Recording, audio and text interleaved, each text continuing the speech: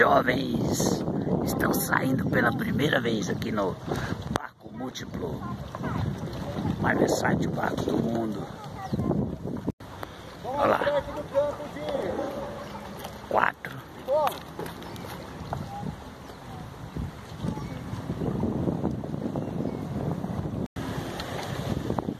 Olha que legal. Quatro crianças.